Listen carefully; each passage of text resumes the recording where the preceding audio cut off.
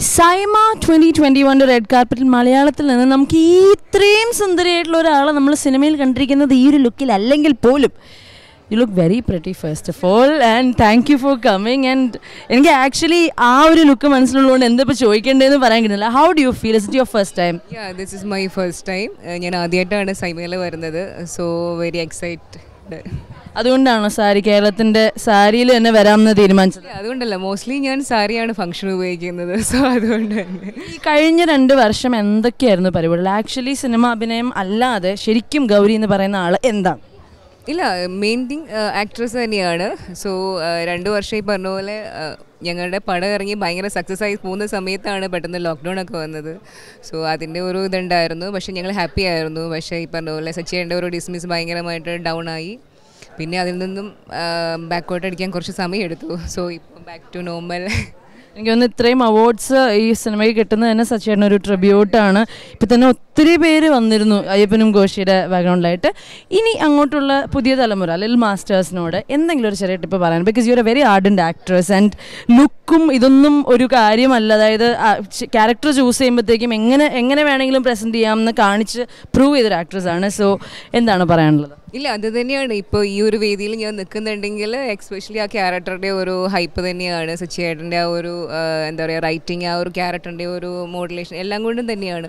So നമുക്ക് കിട്ടുന്ന ഏറ്റവും ബെസ്റ്റ് ക്യാരക്ടർ ചൂസ് ചെയ്യുക അതിന് ഏറ്റവും മാക്സിമം ഹാർഡ് വർക്ക് ചെയ്യുക നല്ല രീതിയിൽ പോർട്രേ ചെയ്യാമെന്ന് മാത്രമേ ഉള്ളൂ. സോ ഡെഫിനറ്റ്ലി നമ്മുടെ ഐഡന്റിറ്റി കാരണം ഇപ്പോൾ ഞാൻ എവിടെ പോയാലും എന്നെ ഗൗരി എന്ന് പറഞ്ഞ പേരിനേക്കാളും കൂടുതലായിട്ട് കണ്ണമ്മ എന്നാണ് എല്ലാവരും വിളിക്കുന്നത്. അത് ഭയങ്കര സന്തോഷമാണ്. അതെ ഭയങ്കര ഇഷ്ടം. എനിക്ക് ഭയങ്കര സ്പെഷ്യലാണ് ഞാൻ എപ്പോഴും പറയും കണ്ണമ്മ എനിക്ക് ഭയങ്കര സ്പെഷ്യലാണ് സോ അതുകൊണ്ട് തന്നെ ഭയങ്കര സന്തോഷമുണ്ട്. സോ അതുകൊണ്ട് തന്നെ നമുക്ക് വരുന്ന ഓപ്പർച്യൂണിറ്റീസ് നമ്മൾ മാക്സിമം യൂട്ടിലൈസ് ചെയ്യാമെന്ന് മാത്രമേ ഉള്ളൂ.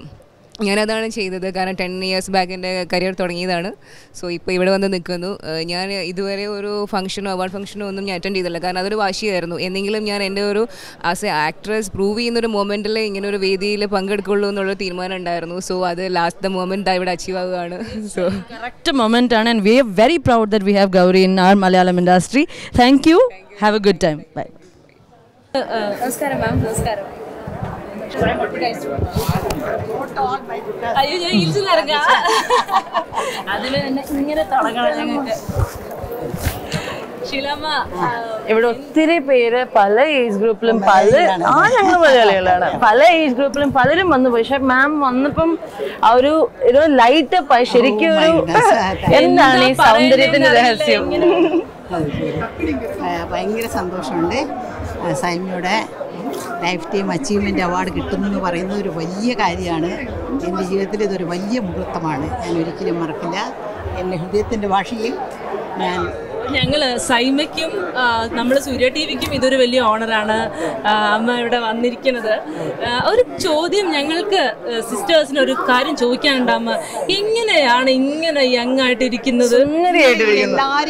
ഇപ്പോഴും അല്ലമ്മ സത്യമായിട്ട് ഇത് കേരളം മൊത്തം ചോദിക്കുന്നത്. എല്ലാവരും ചോദിക്കുന്നത്. ആ, നിങ്ങളെപ്പോലെ സുന്ദരികളുടെ നടുക്ക് നിൽക്കുമ്പോൾ അതിന്റെ കുറച്ച് വെളിച്ചം എനിക്ക് വരുന്നു തോന്നുന്നു. അമ്മ അടുത്ത് വന്ന് നിന്നപ്പോഴാണ് നമ്മൾക്ക് വെളിച്ചം വന്നതെന്ന് ശരിക്കും തോന്നുന്നത്. ഒരുപാട് ഒരു കുറേ നാളായിട്ടുള്ള ഒരു ആഗ്രഹം കെട്ടിപ്പിടിക്കണം ഞാനൊന്ന് കെട്ടിപ്പിടിക്കട്ടെ അപ്പൊ ഞങ്ങൾ ചേച്ചി അനിയത്തിമാരാണ്. പാട്ട് ഞാൻ കണ്ടിട്ടുണ്ട് ആണല്ലേ? ഒക്കെ കണ്ടിട്ടുണ്ട്. ഞാനിങ്ങനെ മിണ്ടണോ? എന്താണ് സംസാരിക്കുന്നത് ചുമ്മാ നമ്പർ അതൊക്കെ.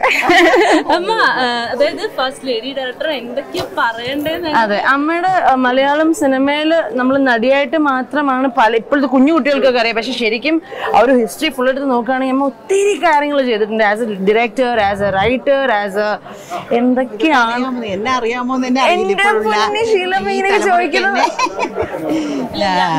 ഞങ്ങൾ പുതിയ ഞാൻ ഹീൽസിന് ഇറങ്ങിയിട്ട് എനിക്ക് നിൽക്കാൻ തോന്നുന്നു കുറച്ച് ഹീൽസ് അതായത് ഞങ്ങൾ ഈ പുതിയ ജനറേഷനിലുള്ള ആളുകൾക്കൊക്കെ ഈ അപ്പാർട്ട് ഫ്രം എന്താ സിനിമ പേഴ്സൺ എന്നുള്ളതിനേക്കാളും ഉണ്ടല്ലോ ഭയങ്കര ഒരു ഗുരുസ്ഥാനത്തും പിന്നെ എന്താ പറയാ അമ്മയുടെ ആ ഹൈ യൂത്ത് സമയത്തും അമ്മ ഏറ്റവും വലിയ പ്രഗത്ഭയായിട്ട് അമ്മയുടെ ഒപ്പം തന്നെ നിൽക്കുന്ന ഒരാളുടെ അമ്മയായിട്ട് അഭിനയിച്ചു. അപ്പൊ അതൊക്കെ എന്ന് പറഞ്ഞാൽ ഒരു ഭയങ്കര ഡയറിങ് ആയിട്ടുള്ള ഒരു ആ ഒരു കാലത്ത്. ഇപ്പൊ നമ്മളൊന്നും അങ്ങനെ ചിന്തിക്കാൻ പോലും ഭയങ്കര ഇത് ഈഗോ ഒക്കെ ആയിരിക്കും.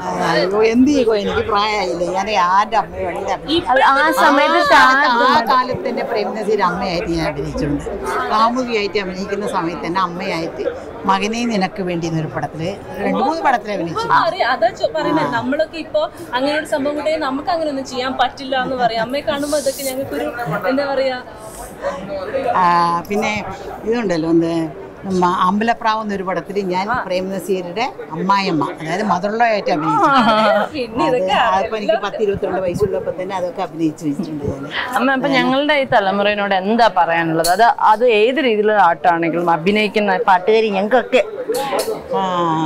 ആരായാലും സിൻസിയറായിട്ട് തൊഴിൽ ചെയ്യുക വളരെ കറക്റ്റായിട്ട് ഇരിക്കുക അത് മാത്രമേ എനിക്ക് പറയാനറിയുള്ളൂ. ചെയ്യുന്ന കാര്യം. സിൻസിയറായിട്ട് ചെയ്യുക ഇഷ്ടത്തോട് ചെയ്യുക അതായത് യു ലവ് ദ വർക്ക് നിങ്ങൾ ചുമ്മാ പോയി കാശ് കിട്ടുന്നതെന്നല്ല നിങ്ങൾ ചെയ്യുന്ന പ്രൊഫഷനെ യു ഷുഡ് ലവ് ഇറ്റ് അതാണ് എനിക്ക് പറയാനുള്ളത്. താങ്ക് യു സോ മച്ച് അമ്മ. ഒരു കാര്യം കൂടെ ഞങ്ങൾ സൂര്യ ടിവിക്ക് വേണ്ടിട്ട് അമ്മ ഒരു വിഷ് പറഞ്ഞു. എല്ലാ സൂര്യ ടി വി പ്രേക്ഷകർക്കും. എല്ലാ സൂര്യ ടി വി പ്രേക്ഷകർക്കും എന്റെ മനസ്സിന്റെ ഭാഷയിൽ ഞാൻ ഒരുപാട് ഒരുപാട് നന്ദി പറയുന്നു. എല്ലാവർക്കും എന്റെ ആശംസകൾ. Thank you